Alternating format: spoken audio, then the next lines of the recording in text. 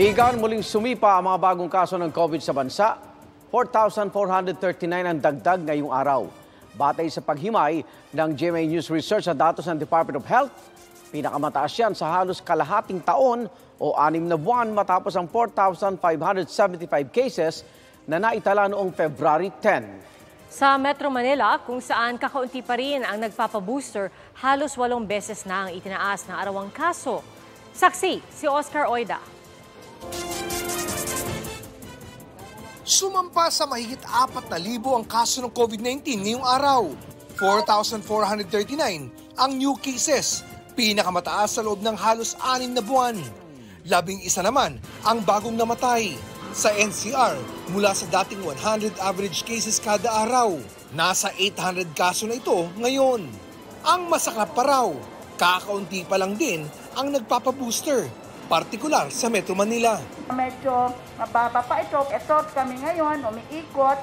And uh, hopefully, kasi 100 days naman up to October uh, 18, ay 8, Kaya pinaiigting ng gobyerno ang Pinas Lakas Vaccination Campaign. Naglagay na ng vaccination center sa mga pampublikong lugar. Tulad dito sa transport terminal sa isang mall sa Fairview, Quezon City. Ang 76 anyos na si Lola Aniseta, vaxxed for the first time. Natakot po ako eh. Mayroon daw mangyayari pag magbabaksin. Hindi ako nagpabaksin. Pero nang malaman daw niya ang benepisyo ng bakuna, nainganyo na siyang magpaturok. Ayon sa DOH, bukod sa COVID, binabantayan din ang pagtaas ng dengue cases. Sa NCR, 52% ang itinaas ng bilang ng mga kaso kumpara noong nakaraang taon. Paglilinaw ng DOH, wala pa naman daw silang natatanggap na anumang report na namomroblema na ng gusto ang mga ospital sa pagtugon, mapadenggi man o COVID.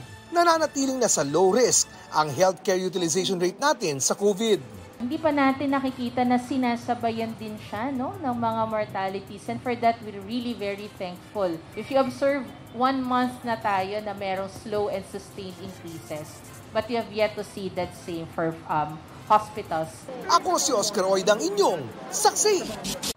Mga igan, saksiyan ng unang pasok ng mga balita. Maaring mapanood ang saksi at ang iba pang GMA Newscast sa youtube.com slash GMA News. I-click lang ang subscribe button sa mga kapuso abroad naman. Maaari po kaming masubaybayan sa GMA Pinoy TV at www.gmanews.tv.